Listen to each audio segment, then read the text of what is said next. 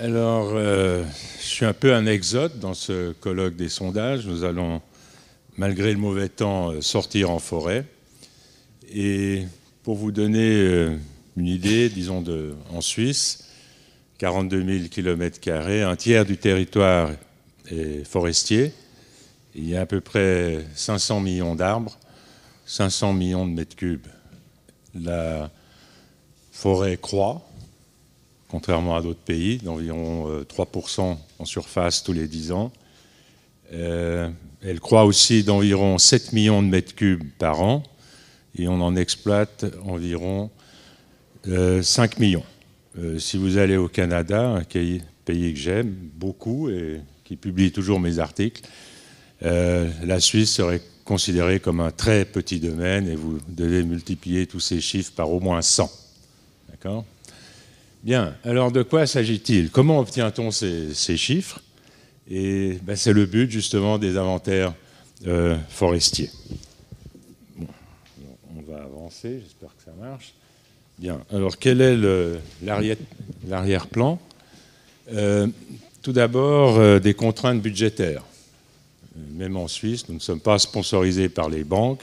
Un inventaire coûte cher et donc c'est le devoir de d'utiliser les ressources euh, de façon euh, efficiente.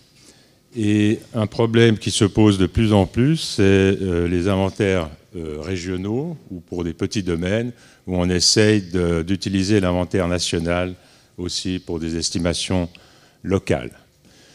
Dans le cas des inventaires forestiers, les données de la télédétection sont extrêmement importantes. C'est-à-dire qu'on a une quantité de données énorme et relativement bon marché. Et à partir de ces données, on doit faire des prédictions au sol, car l'inventaire terrestre, lui, est très précis, mais très, très coûteux. Ensuite, euh, en ce qui me concerne, je suis plutôt un partisan de l'inférence sous le plan de sondage, c'est-à-dire euh, en anglais design-based ou model-assisted. Et je petite remarque. Euh, on a entendu beaucoup de conférences qui parlent de model-based inference. Si on revient aux sources, au grand Sarndal, euh, en fait, lui, il appelait ça model dependent. Donc ça dépend du modèle. Ce dont je vais vous parler, c'est model assisted, c'est-à-dire qu'on utilise des modèles, mais on n'y croit pas trop. Je pense que c'est une, une euh, différence fondamentale et dans mon travail de, lecteur pour des, journaux, je vois que beaucoup d'utilisateurs de, ces méthodes statistiques sont souvent peu ou pas du tout au courant de ces différences qui sont quand même, à mon avis, très importantes. Bien, ensuite, le quatrième point, euh, big data, alors pas du tout dans le sens euh, polémique de la table ronde de hier, euh, nos big data à nous sont donnés par la télédétection. On paye, on va les chercher, on les recueille, ça nous coûte une fortune, et elles sont très fiables. Hein. Simplement, c'est une masse de données absolument énorme. On a, je vais en parler un peu plus tard, mais par exemple, euh, des, modèles de terrain euh, avec une résolution de 5 mètres sur 5 mètres, les survols de forêt par, scan laser, on a à peu près 15 euh, impulsions laser par mètre carré. Hein. et quand vous avez 12 000 km de forêt, dans un petit pays comme le nôtre, vous imaginez la quantité de données absolument phénoménale qui nous tombe dessus. Hein. Donc c'est ça le big data. Mais ce sont des données fiables, ce n'est pas des recherches Facebook, Google. Hein. Bon, sans Bon, alors quel est le, cadre? L'inventaire en trois phases. Il y a une phase qu'on appelle nulle. Euh, bon, ça c'est pour des raisons euh, techniques. Donc c'est un très très large et très très grand échantillon de n0 points et où on va dire que les points sur lesquels on, observe les images satellites ou les images laser ou la télédétection sont uniformément distribuées dans une forêt F.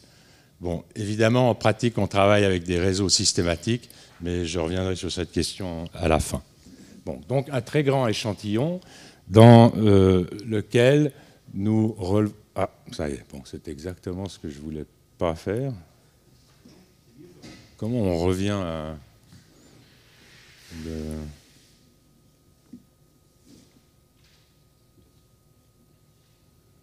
Ah. Euh, donc, il faut que je fasse attention. C'est pas vrai, hein Bon. C'est le pointeur qui ne marche pas. Voilà. Bon, dans ce grand échantillon, en chaque point X, on a des données auxiliaires. Euh, pour vous donner une idée, le plus important, c'est la hauteur moyenne de la canopée euh, au-dessus du terrain. Donc vous avez besoin de deux choses. D'une part, un scan laser de la, canopée, c'est-à-dire du sommet des arbres, hein, pour ceux qui ne connaissent rien aux forêts, et d'un modèle euh, digital du terrain. Et vous prenez la différence de ces deux hauteurs et vous avez la hauteur. Bien. Et la hauteur moyenne, c'est quelque chose d'assez facile à, obtenir euh, de façon algorithmique euh, très rapide. Le cas euh, extrême, c'est vous avez une phase exhaustive, c'est-à-dire que vous, vous avez un wall-to-wall, comme on dit en anglais, de ces données-là. Et ce qui est parfois le cas dans des petits domaines, mais rarement sur un, un pays entier. Bien, alors maintenant pour avancer, la deuxième phase, euh, c'est donc un sous-ensemble euh, de la première où c'est vraiment il n'y a pas de le pointeur ne marche pas. Ça change la page à chaque fois. Bon, alors rien à faire. Bon, donc la, deuxième phase, sous un sous-échantillon de la phase nulle, on, observe des données, euh, aussi par télétection, Z2X, euh, mais qui sont beaucoup plus difficiles à obtenir de façon algorithmique. Par exemple, il est possible, je vais montrer un exemple après, euh, d'obtenir une délinéation de, chaque arbre individuellement par des moyens de morphologie mathématique mais ça, c'est assez compliqué. En tout cas, ça prend beaucoup de, temps de calcul. et finalement, la troisième phase, la, deuxième phase, celle-là, puisqu'on a la 0, 1 et 2, c'est l'inventaire terrestre, hein, qui est très coûteux. Alors, pour vous donner une idée, euh, dans l'inventaire suisse, disons la phase 1, c'est 48 000 photos aériennes donc c'est une photo tous les 500 mètres, alors que euh, l'inventaire terrestre, c'est une placette euh, tous les 2 km, c'est-à-dire racine de, euh, racine de 2 km. donc un rapport de 1 à 8. Bien. Bon, alors une fois que vous êtes en, forêt, en un point X.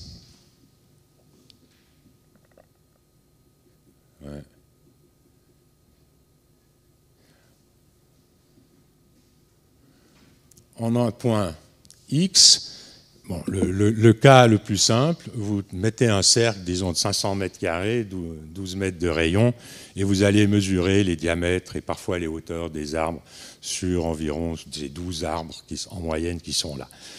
Donc une, seule placette circulaire. C'est facile, mais ce n'est pas du tout efficace. Parce que ce qui nous intéresse en premier lieu, c'est le volume sur pied, donc le nombre de mètres cubes à l'hectare. Et donc, il vaut mieux euh, mesurer les gros arbres, donc euh, probabilité proportionnelle à taille. Donc, par exemple, en Suisse, on emploie deux cercles concentriques.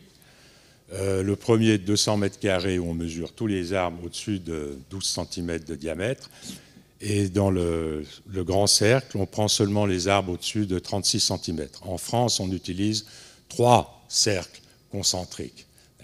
Il y a même une méthode absolument géniale qui est le comptage angulaire, où vous comptez les arbres dont le diamètre apparent est plus grand qu'un certain angle. Et dans ce cas-là, vous avez une, méthode exactement PPS, donc Probability Proportional to Size, et pour la surface terrière, qui est la surface des, arbres, enfin leur section 1m30 au-dessus du sol. C'est le seul cas, à mon avis, connu où on a une méthode euh, exactement PPS pour la variable. Ok. Donc, euh, une fois qu'on a ça, en chaque point X, on considère euh, simplement l'estimateur ici, mais c'est pas vrai. Hein. Excusez-moi de m'énerver comme ça, mais je pense que c'est pas dû au maire de dire ça. Bon alors, si on pouvait, bon enfin, vous voyez là le, ce qu'on appelle la densité locale, c'est simplement euh, l'estimateur d'Orwis-Thompson, mais divisé par la surface forestière. Car euh, nous, ce qui nous intéresse en premier lieu, c'est la densité à l'hectare. Et pour avoir le total, eh bien, vous multipliez par la surface connue de la forêt.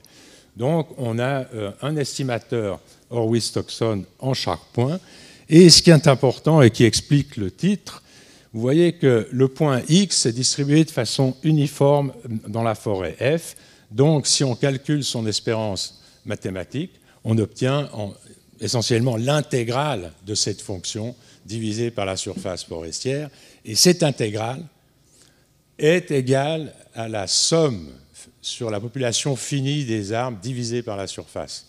C'est-à-dire qu'on remplace le problème d'une estimation dans une population finie par l'intégrale d'une fonction qu'on peut considérer comme euh, une population infinie de points. Et c'est ce qu'on appelle Monte Carlo. Bon. J'ai introduit ce, concept il y, a, bientôt 30 ans dans, ma thèse, et le titre c'était euh, Superpopulation Model in Infinite Population. Bon, alors un titre absolument nul pour le marketing, les Américains ont repris l'idée, ont changé, ils ont dit Monte Carlo. Hein, comme ça, les gens s'imaginent qu'ils vont lire une petite anecdote sur Savage, un bouquin, le, grand philosophe des statistiques, euh, qui avait écrit un petit livre, How to Gamble if you must. Été un succès de librairie formidable. Ce que les gens ne savaient pas, il y avait un petit sous-titre, Stochastic Inequalities. C'était vraiment très compliqué. Donc, euh, si vous voyez Monte Carlo, c'est ça que ça veut dire. OK. Bon, on, a ça. Alors maintenant, euh, on va faire un peu les, On va travailler. Et euh, en principe, si on connaissait la forêt en chaque point, pardon, en chaque point, on, pourrait euh, construire un modèle de, régression sans supposer qu'il soit juste, hein, où on peut calculer l'estimateur bêta euh, qui, est, dans le grand modèle, hein, donc celui-là, si on l'avait. ok? Et on pourrait de faire de même dans le petit modèle où on n'a qu'une partie de l'information auxiliaire. Hein. Donc je, je, vous rappelle, euh, et voilà, ça recommence. Écoutez, je vais essayer de baisser. Hein. Donc on a, on, peut, on a deux coefficients de régression ici. Un euh, alpha qui se rapporte au, petit modèle. On n'a qu'une partie de l'information auxiliaire, mais sur un très très grand échantillon. Et le bêta, qui est un modèle euh, plus, plus élaboré, mais euh, qui n'est connu, dont l'information auxiliaire est seulement connue dans la, dans la première phase. Bon, alors ça, c'est si on avait évidemment la, la, connaissance en chaque point. Ce qu'on n'a pas, et donc, on estime ces paramètres euh, par la méthode des moindres carrés. Vraiment, c'est la méthode des, moindres carrés euh, classique. Euh, vous pouvez obtenir l'estimateur alpha 2 et l'estimateur bêta 2. Ce qui est intéressant, c'est comment on obtient la variance. Donc, la variance du coefficient, du paramètre des coefficients de régression sous le plan c'est-à-dire en supposant que les points X sont uniformément distribués dans la forêt F. Et on obtient euh, ces deux formules, sigma bêta 2, sigma alpha 2. Alors, ce qui est intéressant, c'est que vous voyez que les résidus empiriques, qui sont les mêmes que les résidus que vous obtiendrez sous l'inférence, sous sous le, modèle, vous obtenez ces deux formules. Alors, que j'ai obtenu simplement en linéarisation euh, par Taylor de l'inverse de, la matrice, j'obtiens ces formules et je me dis, j'ai déjà vu ça quelque part. Et en fait, c'était mon ancien professeur, Peter Huber, le, le robuste Peter Huber, a donné exactement les mêmes formules en 1967 dans le Berkeley Symposium et sous un article assez connu qui était Behavior of Maximum Likelihood Estimator under Non-Standard Conditions. Et ces formules qui sont la variance-covariance sous le plan correspondent exactement aux covariances euh, dans, sous le modèle, modèle dependent, robuste dans le sens où on peut avoir une inhomogénéité de la variance. Hein. Et quand vous voyez un truc comme ça, vous vous dites, euh, ça, ça n'arrive pas par chance. C'est donc il y a quelque chose vraiment de fondamental euh, là-dessous. Bien, alors maintenant, quel est l'estimateur? Euh, En fait, l'estimateur est une, une version Monte Carlo, donc dans une population infinie, d'un estimateur proposé par Sarndal euh, bon, dans les années 90, disons. Enfin, il est, dans son gros bouquin. Hein. Et qu'est-ce qui se passe? Alors, je ne vais pas employer le pointer. Vous voyez, la première, c'est ce qu'on appelle l'estimateur par régression G3 reg. Vous avez le, le, dernier terme à droite, c'est simplement l'estimateur classique de régression en deux phases. Et comme la somme des résidus est nulle sur toute la surface, vous n'avez pas encore un terme euh, qui contient les résidus. Et cet estimateur en deux phases est corrigé par le terme qui contient la, variable, la moyenne empirique sur la grande phase des variables auxiliaires Z1, hein, et corrigé, parce que ça on l'obtient, soit on l'a même de façon exacte dans le cas où la, phase nulle est exhaustive, et on corrige par ce terme. Et ça correspond à un estimateur euh, classique de, de trois phases. Bon, voilà. Alors, on a cet estimateur, OK Et puis, euh, on peut calculer sa variance sous le plan, hein, sous le plan, et on obtient euh, ces formules-là. D'accord Et alors, ce qui est intéressant, c'est que les termes, on voit, le premier terme, c'est la variance empirique euh, des prédictions avec le petit modèle, donc sur un très grand échantillon. Et les deux autres termes contiennent les variances-covariances euh, sous le plan euh, du petit modèle et du grand modèle. Et, ces formules-là, on peut les mettre sur la forme G-weight, avec les conditions de calibration, donc presque de calage. Donc c'est une formule extrêmement importante. Bien, maintenant je vais aller un peu, un peu plus vite on a aussi le problème des, petits domaines. Alors, si vous avez quelques petits domaines, hein, si vous en avez 15 000, cette méthode ne va pas marcher. Mais souvent, par exemple en Suisse, on a une dizaine de, régions de production. Hein. 10 petits domaines au niveau national. Dans un canton, ça peut être certaines entreprises. Donc c'est de l'ordre, disons, de 3 à 10. Hein. Bien, alors qu'est-ce qu'on fait? Euh, exactement la même chose, simplement comme variable auxiliaire supplémentaire, on introduit la variable indicatrice du petit domaine, qui est 1 si le point est dans le petit domaine, 0 autrement. Et on garde tout le reste. D'accord? Et pourquoi introduire cette variable indicatrice Simplement que la méthode des moindres carrés, la somme des résidus dans ce modèle, disons, euh, extended, euh, élargi par la variable va être zéro. Donc on oblige la somme des résidus à être zéro.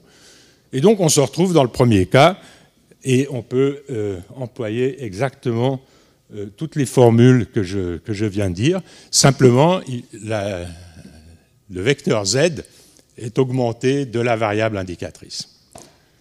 Voilà.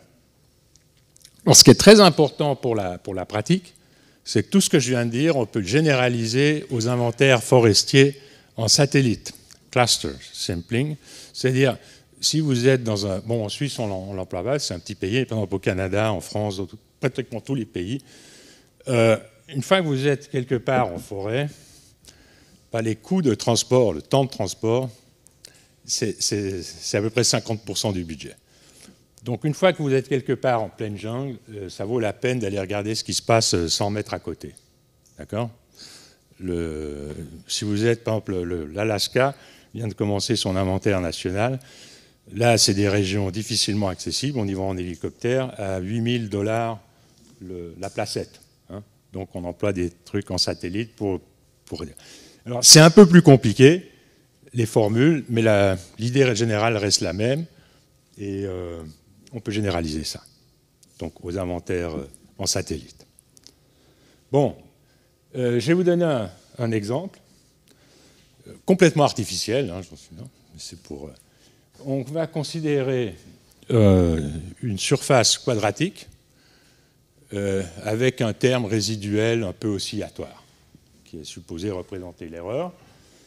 Le petit modèle ici contient simplement l'intercept, le, 1, et les coordonnées x1, x2 dans le plan. Le modèle euh, complet est une quadratique complète. Et on va considérer ça dans un petit rectangle du, plan, avec un, résidu que je n'ai pas noté ici, c'est marrant ça, ça doit être... Erreur de ma part. Enfin, le résidu R est un terme sinus-cosinus. Un sinus fois un cosinus. Bon, enfin, ce qui est important ici, c'est voilà, voilà la fonction. Hein. Elle a l'air comme ça, donc on, devine un peu une quadratique, plus un mouvement euh, sinusoïdal, assez compliqué, et on veut estimer l'intégrale de cette fonction hein, sur le 0,2 et 0,3, hein, sur ce carré. Et puis à l'intérieur, on a un petit carré euh, qui fait un sixième de cette surface, qui sera notre, notre petit domaine. Bien. Alors, on fait une simulation. Ici, c'est 10 000, itérations. Et ce qui est assez important, euh, vous voyez, c'est le P là.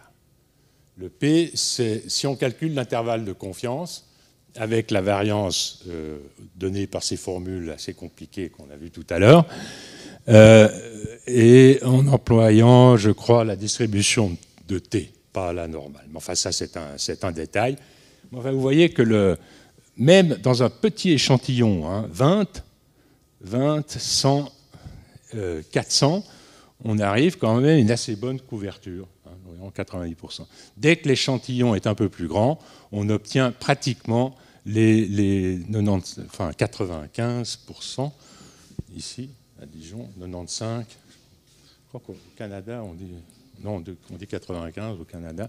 Donc on, obtient en fait le niveau nominal.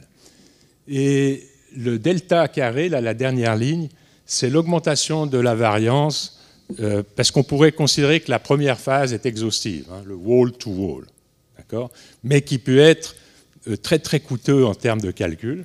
Donc si on fait ça, on augmente un peu la variance, mais d'environ 25%, ce qui n'est pas grave. Et si vous considérez les résultats pour le petit domaine, alors vous voyez que ça marche très bien. On a une couverture euh, empirique de l'intervalle de confiance, qui est pratiquement ce qu'on veut atteindre, d'accord, de 95%. Bon, donc ça c'est pour vous convaincre que ça, marche, quoi, les calculs. On va considérer un, exemple concret euh, d'une forêt dans les cantons des Grisons, où là on a un inventaire terrestre et un inventaire par photo aérienne, où on a euh, ces données LIDAR. Bon, alors il faut vous imaginer que vous avez une caméra spéciale, laser, qui envoie des impulsions, et environ une quinzaine d'impulsions par mètre carré, et les, rayons laser sont réflectés, soit sur la canopée, soit au sol, et avec ça, on peut faire une image pratiquement en 3D des points, cloud, et euh, même deviner la forme de l'arbre ici, vous avez un petit exemple où on devine euh, le sommet des arbres. D'accord? Alors, on peut obtenir assez facilement, comme j'ai déjà dit, la, canopée, la hauteur de canopée moyenne, et même de façon exhaustive, c'est-à-dire wall to wall. Et, mais ça, c'est beaucoup plus compliqué de façon algorithmique. On peut identifier enfin les arbres dominants, hein, ceux qui sont cachés par les autres, vous ne les verrez pas, mais en général, ils contribuent peu au volume sur pied. Et vous voyez là des, points comme ça. On peut, on peut, les identifier. On peut même parfois dire si c'est un feuillu ou un conifère, parce que la forme des feuillus est beaucoup, plus arrondie vers, le haut euh, qu'un conifère. Et voire même, on connaît la hauteur de cet arbre, enfin estimée par, laser, et donc avec la hauteur, on peut faire euh, aussi une estimation euh, de son volume. Hein. il y a, ce qu'on appelle des tables de, production pour ça. Bon, donc avec ce genre de données, on obtient un modèle, enfin deux modèles, le modèle réduit mais exhaust, sur wall-to-wall, euh, exhaustif, et le modèle complet. Et vous voyez ici, bon, le R carré, c'est 66%. Et bon, si on 65% seul est expliqué. Bon, dans ce sens-là, l'exemple réel été un peu mauvais, parce que tous les trucs compliqués n'apportent pas grand-chose. Ouais, c'est bon, c'est bon, je suis dans les temps. Hein? Donc, euh, quand j'ai commencé ma carrière dans ce domaine, on avait interprétation euh, manuelle, hein, c'est-à-dire c'était des, interprètes qui regardaient les photos, et bon, alors, il y avait des différences entre interprètes. Il y avait même le même interprète à trois en intervalle. Il ne disait pas la même chose. Hein. Et là, on était content, il y a 30 ans, quand on avait un R carré de 0,4. C'était vraiment le top du top. Souvent, c'était 0,3. D'accord? Et bon, 30 bah, ans plus tard, avec ce big data, hein, on arrive à, à 0,6, 7 en Suisse où on a des peuplements mélangés, une topographie extrêmement difficile. Si vous allez en Finlande, il y a des forêts de bouleaux à perte de vue écuyenne. les Finlandais, ils n'ont pas le moral quand ils ont un R carré de 0,9. Chacun a ses problèmes. Bon, leurs forêts sont un peu monotones, il faut dire. Nos forêts sont plus belles, mais nos R carrés sont moins beaux. On ne peut, pas tout avoir. Hein. Bon, Maintenant, pour nos amis canadiens, les, forêts d'épinettes noires, ils ont aussi des très bons air carrés. C'est clair. Bon, alors, euh, on va voir les. Bon, je ne sais pas si j'ai sauté une page là. Pardon. Non, c'est bon. Euh, oui, là, vous avez quelques indications sur l'appareil. Bon, c'était encore un, mauvais laser, ça, seulement 5 points par mètre carré. Hein. Bon, mais quand vous avez 2300 hectares, euh, je vous signale qu'un hectare, c'est 10 000 mètres carrés, ça fait, beaucoup de données, hein, quand même. Même sur un si petit domaine. Hein. Bon, et euh, alors, si on prend le modèle wall-to-wall, bon, sur un PC, mais quand même, euh, hein, on a besoin de deux, jours de calcul. Il faut faire tourner ça toute la nuit. Bon, si on avait un ordinateur un peu plus gros, ce serait bon. Mais euh, si on prend le modèle euh, en trois phases, bon, c'est fait en deux heures. Donc on réduit par 24 le temps de calcul sur un tout petit domaine. Si on fait ce même genre de raisonnement sur toute la Suisse, on passe d'environ deux mois de calcul sur une grosse machine à quelques jours. Donc ça vaut, quand même la peine. Bon, voyons voir un peu les, résultats. Ici, donc vous avez ici plusieurs estimateurs tout en haut, vous avez la moyenne. Bon, alors là, on a à peu près 380, en disons en gros 380, 390 mètres, cubes à l'hectare dans cette forêt. Vous voyez que la moyenne, on avait que 67 placettes terrestres, c'est pas beaucoup. C'est environ, l'erreur de la moyenne, c'est environ 23 mètres cubes à l'hectare. Vous voyez que l'estimateur par régression classique, on arrive à 16, donc on réduit de façon substantielle l'erreur.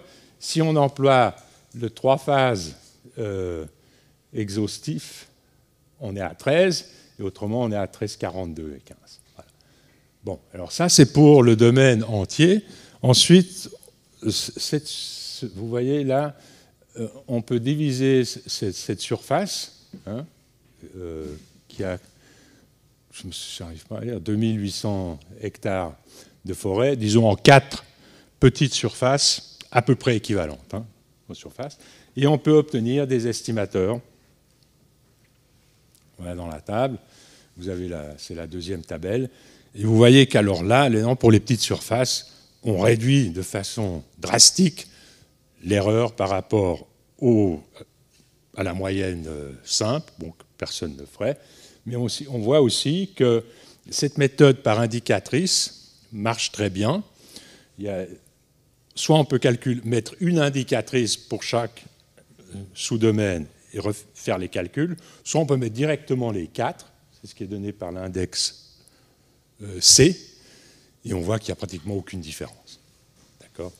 Donc ça marche, mais on voit aussi très bien que l'erreur, surtout pour l'estimation des petits domaines, est réduite de façon substantielle. Voilà. Bon, alors, juste encore un mot. On peut appliquer ça aussi aux inventaires euh, continus. En Suisse, jusqu'à présent, on faisait un inventaire complet sur toute la forêt tous les 10 ans. Maintenant, on fait un inventaire chaque année sur un neuvième. Et donc, la première phase, la phase nulle dans ce cas-là, ça reste toujours la télédétection photo aérienne. La phase 1, on fait un une mise à jour des anciennes placettes terrestres avec des modèles de croissance. On regarde ce qu'ils donnent maintenant. Et la dernière phase, comme toujours, c'est la phase terrestre annuelle. Et on emploie exactement ce même euh, système de, régression en trois phases. Et alors, ce qui, est important, c'est que si on ne faisait rien et qu'on gardait les placettes terrestres, bon, chaque année, enfin tous les trois ans, on fait un inventaire, on augmente, on multiplie par trois la variance, ce qui n'est pas très bon. En utilisant cette méthode, on divise par deux cette augmentation. Donc on multiplie simplement par 1,5 et je suis presque dans les temps Lionel. Voilà. Merci.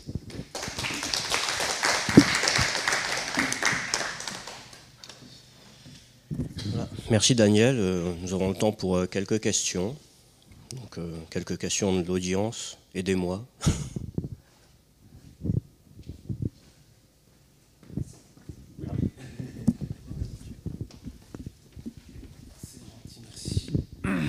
mon ami Daniel. C'est très intéressant parce que c'est vrai que dans le temps, euh, j'avais déjà plus ou moins travaillé euh, sur ces problématiques-là pour ce qui est de la télédétection. Et il est vrai que nous, quand on faisait cette réflexion, c'était plutôt également par rapport à l'amélioration de l'acquisition de, de, la data, justement. Qu'est-ce que tu en penses? Est-ce que tu crois que en améliorant justement la démarche d'acquisition euh, de ces données, ça permettrait, avec euh, bah, une approche Monte Carlo éventuellement ou autre chose, de, de, de, de faire encore baisser la variance, d'améliorer la précision et donc euh, d'apporter plus d'efficacité aux inventaires ou pas? Bon, on, réduit la, la, variance, hein, pardon.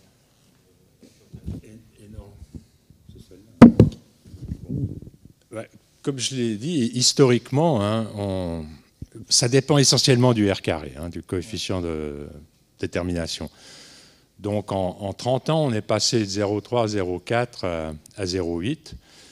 Maintenant, comme souvent, euh, grignoter les 20% qui restent, ça, ça va être de plus en plus euh, difficile. Hein.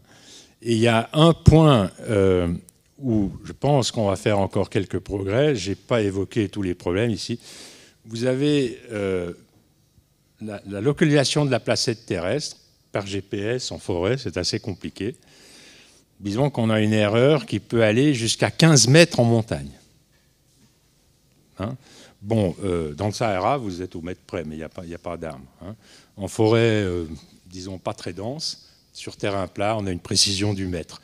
En montagne, on peut avoir des erreurs, pour l'instant, qui peuvent aller jusqu'à 10 mètres. Donc, en fait, il peut y avoir un écart de 10 mètres entre ce que dit la télédétection qui est 10 mètres à côté, et là où on mesure la placette au sol.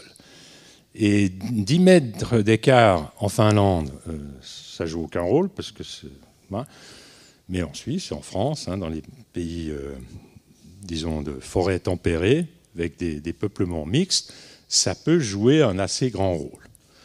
Alors certains cas simples, bon, il y a eu une coupe rase, bon ça on le voit. Hein. il faut quand même, ça, ne vous, ça ne vous, euh, vous devez quand même toujours regarder vos données. il faut, faut pas être absolument aveugle et croire tout ce que vous donne la télédétection. Mais je pense, comme on arrive, on se rapproche des 0,8, ça va être de plus en difficile. On va encore euh, grignoter, grignoter, mais est-ce que ça en vaut la peine? Euh, bah, Je commence à avoir des doutes, des fois, parce que pour un, administrateur, un manager, si vous dites, bon, j'ai 400 mètres cubes à l'hectare, plus ou moins 20, ou plus ou moins 50, ça fait, une différence. Hein. Mais si vous lui dites vous avez 400, plus ou moins 20 ou plus ou moins 18, il, s'en fout. Hein. Passez-moi le, le terme. Donc je pense qu'à un moment donné, on va s'arrêter quand même. Hein. Oui Ce que je n'ai pas très bien compris, c'est à quel niveau est-ce que vous définissez vos, vos domaines? La raison que je pose la question, c'est que. Alors, domaine ici, c'est purement euh, géographique. C'est-à-dire que c'est. Est-ce que c'est vraiment des strates? C'est pas dans le sens. Euh, on peut faire la même chose si tu t'intéresses par exemple aux, résineux ou aux feuillus. Dans d'autres termes, ça c'est une sous-population d'arbres. Ce qu'on appelle small area, c'est vraiment au sens géographique. Donc on a un polygone qui délimite une surface. Et le reste, on peut refaire ces calculs, par exemple, pour des résineux, pour des... Mais là, euh, on a besoin de chaque fois d'un autre modèle. Alors pour l'instant, on s'intéresse surtout au volume global. D'accord? Et on arrive, mais le R carré est moins bon, on arrive, disons, à distinguer le matériel sur pied des résineux et des feuilles. Mais si vous voulez le volume total des noisetiers euh, en Suisse, ça, ça ne va plus marcher. Hein, Une autre question, l'amélioration du R carré, est-ce que c'est dû au fait que le satellite, l'image est plus précise ou est-ce bon, alors l'image satellitaire, euh, bon, c'est pour les grandes stratifications, d'accord? Mais pour l'inventaire suisse, euh, l'image satellite ne donne pas grand-chose parce que la résolution n'est pas assez grande et surtout on a du mal euh, à faire une, une, bonne stratification des essences. Mais on a la photo aérienne qui est quand même beaucoup plus précise que l'image satellitaire et maintenant on a, on ces photos laser. Pas encore pour tout le pays parce que ça coûte assez cher, mais je dis à mes étudiants, dans 10 ans, vous pourrez avoir un drone pour, euh, pour 12 000 francs, hein, 10 000, euros, et faire ce genre de calcul. Je pense qu'il sera difficile d'obtenir l'autorisation de vol. Hein.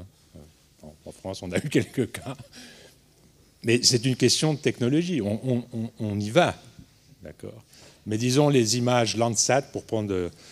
Euh, pour un pays euh, topographie compliquée et très, variable comme la Suisse, c'est pas assez précis. C'est pas assez précis ou Spot ou les, autres images satellites.